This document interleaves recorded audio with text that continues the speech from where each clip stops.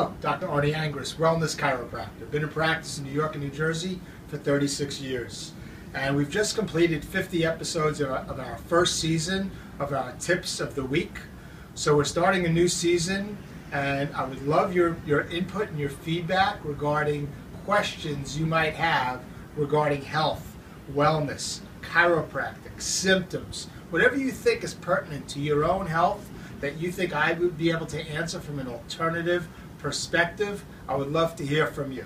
So I always take into account what patients are feeling to create these, but we want to make that a more specific type of, of con- condition regarding your questions, your comments, things like that to help us help you give you more insight and more information about health and wellness. We greatly appreciate it.